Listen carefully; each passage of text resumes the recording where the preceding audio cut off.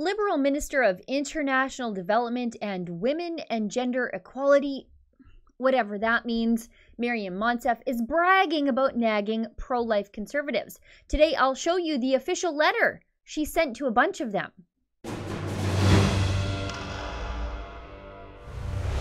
Justin Trudeau's Liberals just won't shut up about abortion. They're fanatical about it. So fanatical that Prime Minister Justin Trudeau is taking the monumentous occasion of a meeting with American VP Mike Pence to scold the Americans on the issue. Just watch. Obviously, I'm very concerned with uh, the situation uh, around the backsliding of women's rights that we're seeing through uh, from conservative movements uh, here in Canada, in the United States, and around the world. Uh, I will have a, a broad conversation with uh, with the Vice President, which, of course, that'll come up. But we're going to mostly focus on the ratification process of NAFTA and making sure that we get good jobs for Canadians. Weird flex, Trudeau, but okay. Now, I sort of hope that VP Mike Pence scolds Trudeau on the Prime Minister's treatment of women who don't do exactly what Trudeau wants them to do. Maybe Mike Pence could explain the value of the Pence rule to Trudeau. Now, that rule says that a man really shouldn't be alone with women who aren't his wife. It's to avoid controversy and rumors of impropriety swirling around. You see, Pence is a happily married, controversy free, faithful Christian husband. And so he's got nothing to learn from our witless, gaffe prone, gropey, ethically challenged, hedonistic prime minister about how to treat women. That's for darn sure. But the prime minister, well, he's not the only one obsessed with abortion rights.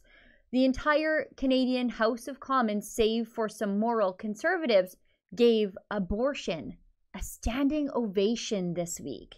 And Trudeau's Minister for Women and Gender Equality, Maryam Monsef, who is most famous for being completely confused or lying about where she was born, not only won't stop tweeting about abortion, but she even sent a letter to pro life conservative MPs who had the courage to participate in the March for Life this year. She sent a letter to hector, badger, and bully them on her official government letterhead. Now, I got my hands on a copy of the letter, and I thought maybe you folks at home would like to see it too because I want to show everyone just how Monsef thinks the non existent constitutional right to abortion is far more important than the very real rights of religious freedom and freedom of conscience.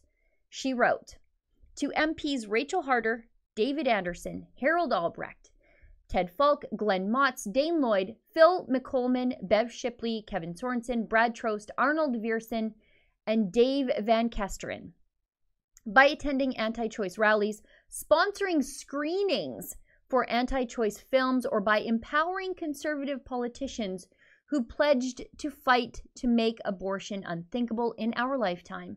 The Conservative Party of Canada is demonstrating their willingness to reopen this debate and roll back women's rights and autonomy. This is simply unacceptable. Hang on for a second here. It's unacceptable to watch a movie. The liberals don't even want you watching movies that tell you the other side of the story, the unglamorous tragedy of it all. Anyway, let's go on with the letter. Fundamental human rights are not a political issue. Given your recent actions as Conservative caucus members, I am calling on you and your leader to clearly reaffirm Canadian women's rights to choose and to work together with our Liberal government to protect access to safe and legal abortion services both at home and around the world. Now, all of this, like I said, is done on her official government letterhead. Now, I wonder if Monsef has ever sent something like this to, I don't know, Saudi Arabia. Just kidding. That requires moral clarity. Now, as a personal aside, as a staunchly pro life woman, I hope Monsef never shuts up about this because the more outrageous she gets, the more people come around to my way of thinking. People are actually getting more and more pro life as the pro choice movement gets more and more extreme. If I were a conspiracy theorist, and I'm not, I'd accuse Monsef of working for the Catholic Women's League. But in reality, I think Monsef is just a gender quota hire, given her job because of her genitals, by a powerful simpleton man who likes to keep hardline sycophants and people dumber than him, you know, people not bright enough to understand the Charter of Rights and Freedoms as those who populate his inner circle. I guess Monsef gets to choose which one of those people she really is. But even if, even if you are not pro life, and I know some of you out there watching aren't, I do think many of you who watch our content here on The Rebel care deeply about free speech issues and resent government bullying of conscience issues, like Monsef is doing right now. I think even our pro choice viewers see the government trying to force peaceful people of faith to violate their consciences to conform to the Liberal Party of Canada values on the abortion issue, one more time, might I add, as tyrannical and grotesque. And it is, in fact, creating these strange allies against Justin Trudeau. People who didn't think they had common ground are now standing on that common ground together against Justin Trudeau. I guess the question we need to ask the Liberals is Are Canadians able to think freely anymore in this country or not? Does Trudeau's Minister of Women and Gender Equality treat all women as one homogenous blob voting bloc? Or does she respect the fact that, like everyone else in the world, we gals also have a diverse range of opinions on this and, of course, any other issue? Because imposing Liberal Party values on pro life women hardly seems like something the Minister of Women and Gender Equality should be doing. Looks to me like Monsef wants conservative parliamentarians to believe the same as her powerful, idiotic male boss Justin Trudeau. And you know what? Don't even get me started on the passive anti Christian bigotry laid out in Monsef's letter.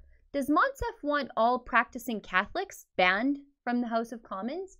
What about evangelicals or Orthodox Christians? Should they be banned too? Does Monsef want all practicing Christians banned from the government, just like they do in her home country of Iran? Because if so, she should just come right out and say it. For the Rebel.media, I'm Sheila Gunn Reid. Justin Trudeau is promising to force social media companies to censor his loudest critics in the lead up to the 2019 election. But at the Rebel, we know he means us, so we planned a workaround. We have a new Rebel Media mobile app. It's available on the Google Play Store or the Apple App Store. Download it, give it a whirl, and help us fight Justin Trudeau's censorship wherever you go.